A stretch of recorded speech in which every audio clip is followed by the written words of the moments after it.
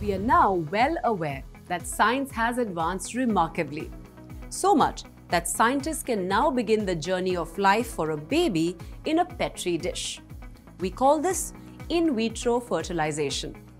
So what happens at the cellular level when a sperm and an egg come together inside the human body or on that petri dish? We must explore the science behind the male and female reproductive system. But first, let's take a look at how the sperms and eggs are made. In the male and female reproductive system, the respective gamete cells, sperm and ovum, are formed. The formation of these gametes is called gametogenesis. In the testis, diploid spermatocytes transform into haploid sperms by the process of spermatogenesis, whereas inside the ovaries, diploid stem cell, oogonium, transforms into haploid ovum by the process of oogenesis. In spermatogenesis, each meiotic division is equal. The first division gives rise to two equal secondary spermatocytes. The second meiotic division then gives four equal spermatids. The process of spermatogenesis is hence continuous, which occurs after puberty. In oogenesis, each meiotic division is unequal. The first meiotic division produces one secondary oocyte and a polar body. The second meiotic division is arrested around metaphase 2. At this point, ovulation occurs.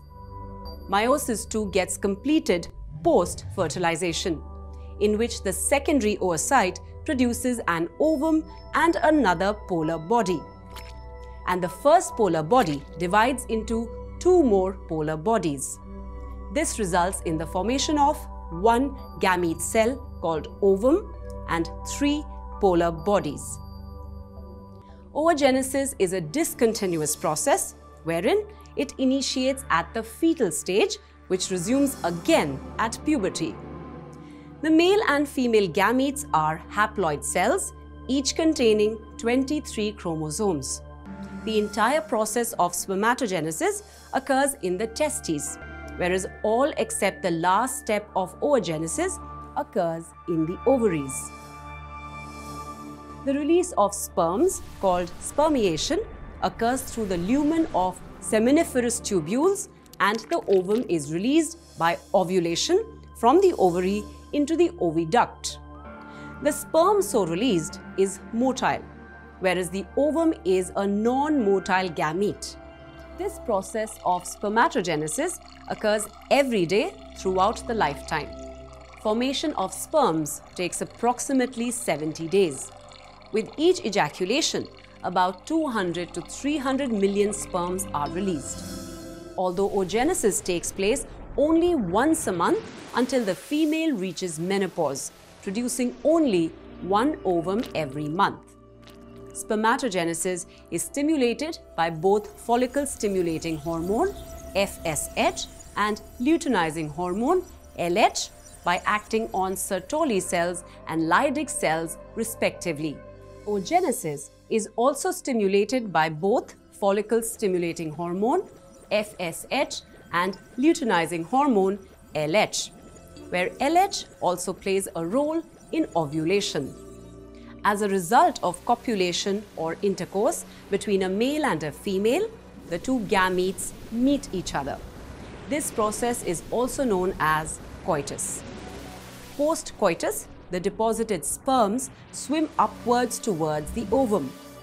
Here, the sperm fuses or fertilizes the ovum to form a diploid cell containing 46 chromosomes called zygote. Let's summarize.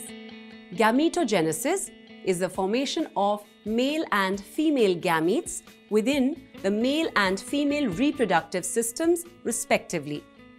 Inside the testis, spermatogenesis forms sperms from spermatocytes, whereas inside the ovaries, oogenesis forms ovum from oogonium. In the continuous process of spermatogenesis, each meiotic division is equal, first forming secondary spermatocytes and second forming spermatids. However, oogenesis is a discontinuous process where each meiotic division is unequal.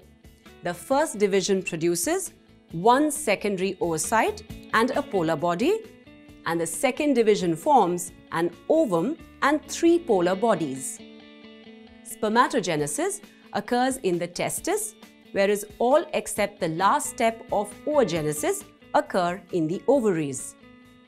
The release of sperms is called spermiation, whereas the ovum is released by the process of ovulation.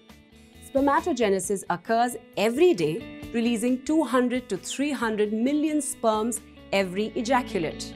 Oogenesis takes place only once a month, producing only one ovum every month. Spermatogenesis is stimulated by both follicle stimulating hormone FSH and luteinizing hormone LH. Oogenesis is also stimulated by both follicle stimulating hormone FSH and luteinizing hormone LH. So after everything you have just reviewed, the formation of a zygote is only the beginning. What journey is in store for the zygote now? Here's a hint.